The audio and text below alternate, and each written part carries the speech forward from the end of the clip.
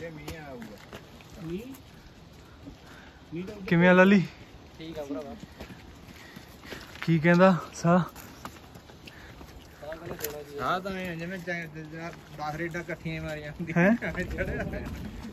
Glacier ਤੇ ਚੜੀ ਜਾਗਾ ਇਦਾਂ ਵੇ ਜਾਲਮਾ ਇੱਧਰ ਨੂੰ ਮੂੰਹ ਤੱਕ ਮਾ ਸਹੀ।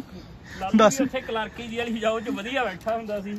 ਹੈ? ਇੱਥੇ ਅੱਗੇ ਨੂੰ ਪਤਾ ਲੱਗਿਆ। ਵੀਡੀਓ ਬਣਾਉਣਾ ਹਾਂ। ਮੈਂ ਤੁਹਾਡੀਆਂ ਸ਼ਕਲਾਂ ਦਿਖਾ ਦਵਾਂ। ਕਿਵੇਂ ਰਿੰਗ ਰਿੰਗ ਚੜਦੇ ਆ ਤੁਸੀਂ? ਹੈ?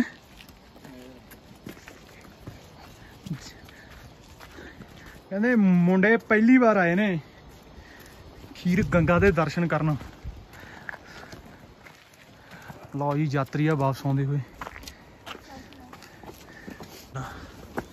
ਲੈ ਖਿੱਚੀ। ਲੈ ਦਿਖਾ ਦੇ ਸ਼ਕਲ। ਇਹਦੀ ਹੋਈ ਵੀ ਹੈ ਬੱਸ। ਸਾਹ ਇਹਦਾ ਸਾਹ ਨਹੀਂ ਰਲਦਾ। ਹੁਣ ਕਹਿੰਦਾ ਫੋਟੋ ਖਿੱਚ। ਲੈ ਦੇਖ ਸਟਾਈਲ ਮਾਰਦਾ।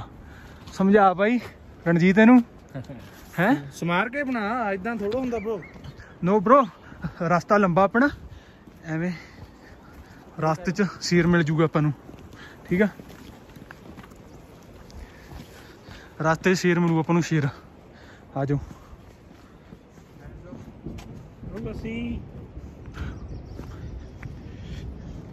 ਚੱਲ।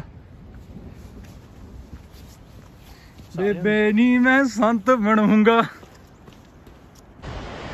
ਇਹਦੇ ਚੋਬਰਾਂ ਦੀ ਬੱਸ ਹੋਈ ਪਈ ਆ। ਕਿਉਂ?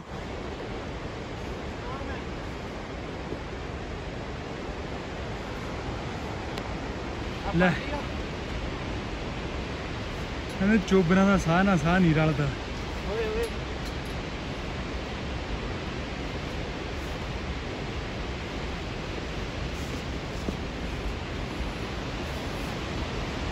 ਕਾਤੇ ਕਰੀ ਜਾਂਦੇ ਕਹਿੰਦੇ ਬਾਦੀਆਂ 'ਚ ਜਾਣਾ ਬਾਦੀਆਂ ਵਿੱਚ ਜਾਣਾ ਬਾਦੀਆਂ ਆ ਦੇਖ ਲਓ। ਆ ਗਿਆ ਉਹ ਹੁਣ ਚੜਿਆ ਨਹੀਂ ਜਾਂਦਾ। ਹੈ?